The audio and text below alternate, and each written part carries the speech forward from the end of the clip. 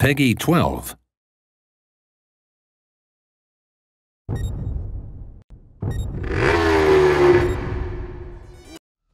My name is Professor Fat Shady, and this is the University of Trials.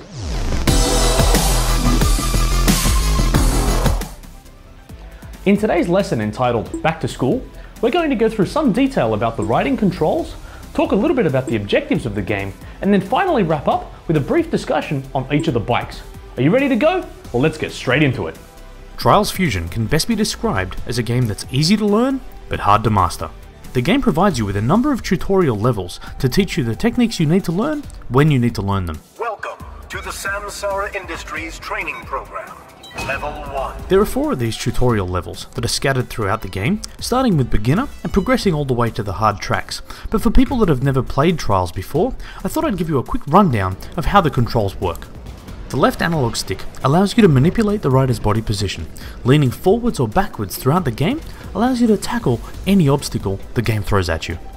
Using the left trigger to either brake or reverse, and the right trigger for gas or accelerate allows you to progress your way through the game. Once you understand all of this, it's pretty amazing to see what you can do with the bike and what obstacles you can overcome. Using only these simple controls, you'll progress your way through the game, and while it may look simple to get from one end of the track to the other, the challenge and the beauty of this game is being able to get through increasingly difficult tracks the fastest way possible. Now that we've talked about the controls, it's important that you understand what to do with them. So, let's now talk about the objective of the game. When Trials Fusion starts, you'll only see Greenhorn's Grove unlocked. This is a grouping of beginner difficulty tracks, and you won't be able to proceed until you've earned more medals. There are four types of medals bronze, silver, gold, and platinum. You'll earn these by completing the game with the least amount of faults in the fastest time possible. But, Professor Fat Shady, what is a fault? It's a good question. A fault can be described as a problem or a bad part that prevents something from being perfect, or, as we say at the University of Trials, falling off your bike. Faults are an inevitable part of the game. You'll fault early and frequently. The good players learn from each one and continually look for ways to avoid them the next time around. As you improve, you'll unlock more medals, and this will unlock more content and more difficult tracks. But be warned, advance too quickly and you'll be punished. I can't wrap this up without talking about competition and what this does for the game. The leaderboards are a crucial part of the experience. Not only does this allow you to track your own personal best for each track, but you can and should compete against your friends. You even have the ability to set a rival marker so you can target specific players. When you do beat them, don't forget to rub it in. It's always great when you beat a friend's time, but at the University of Trials, we don't just want you to be good, we want you to be great. So, now let's discuss the tools of the trade, the bikes. There are six bikes available to you within Trials Fusion. These are gradually unlocked as you progress through the game. The Baggy is your learner's ride. It's slow, but it lets you get a feel for the game. It's pretty forgiving, but don't expect to set any records with it. I'd suggest you use this bike as you're getting familiar with the different riding techniques, but once you've got a handle on it, progress to one of the faster bikes. The Foxbat is a dedicated freestyle motocross bike. As I plan on covering freestyle motocross in a future lesson, I think we might just leave this one here. The Roach is not fantastically agile or quick to accelerate, but it makes up for this with a high top speed.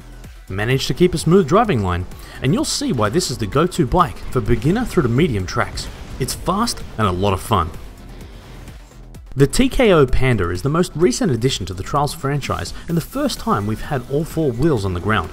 When you ride this quad bike, you'll immediately feel its weight, but while it may be a bit chubby, as the description says, it's colossally powerful. There are a number of tracks within the game that are dedicated to this quad bike, so you'll have plenty of time to get acquainted. One thing to note is that this is a four-wheel drive bike, and you will find yourself at times using the front wheels to pull yourself up and over an obstacle. The Pit Viper is the classic Trials bike and fan favourite. It's quick to accelerate, agile, and can pull off some technical maneuvers. I'll warn you though, this is not for the new players. It's unforgiving, so make sure you have mastered the core concepts before you try to ride this one. The Rabbit's great.